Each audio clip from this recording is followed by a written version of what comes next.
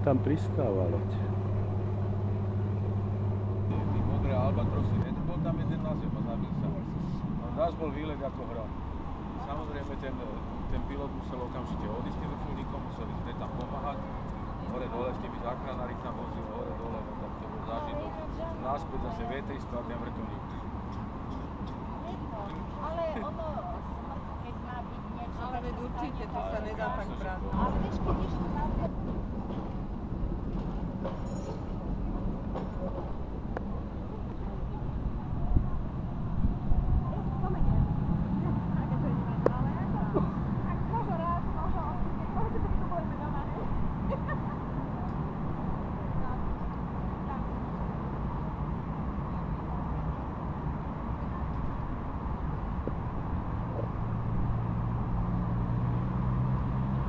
to, je jak plávajúci hotel. Však to je aj plávajúci hotel.